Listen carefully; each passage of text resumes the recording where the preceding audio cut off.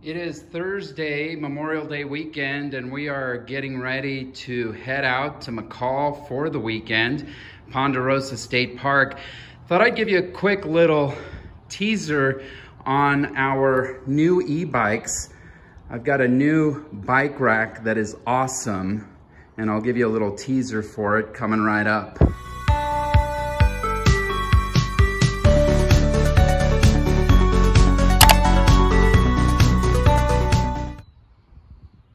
Okay, so we've got Guinevere here, our 2075 travel trailer, and our new e-bikes, Charge Comfort e-bikes. We posted a couple of videos on those, and really excited to show you the Thule um, fold-away bike rack. It is amazing, and I'll do a more in-depth review on, on this bike rack, on how it works in terms of how it's uh, uh, put away and stored, which is pretty cool, but I'll give you a brief little tour here.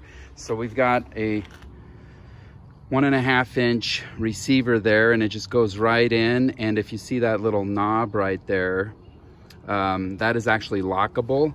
So when you, you torque it down so it's nice and tight, it's not gonna move around so there's it's firm as a rock there is no sway here and you tighten it with this and then you put a key in there and then it um, flows freely so no one can loosen it or take it off. So that's really cool. And the really nice feature with this is it's got these kind of um, clamps that you tighten here and then this is lockable as well. So you've got this for the bike on the inside and this one for the bike on the outside. And you can see how firm that is. And then you just strap down each tire with these little ratchets and so it's super firm. And the really cool thing is you've got this um, kind of pedestal here that works as a little uh, latch that you can release this whole thing and fold it away. So let me show you. I'll just put my foot down, unhook it.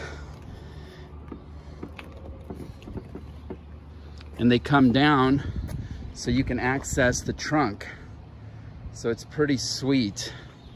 And then underneath here, you actually have a little ramp that you can unfold to uh, roll the bikes up onto the rack, which is pretty awesome.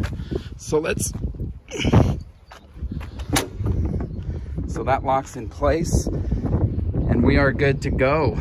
So just a quick little teaser there on that bike rack as we're headed out. Um, to Ponderosa State Park and we'll have a campground review coming up as well this weekend. So stay tuned here on Idaho Voyager.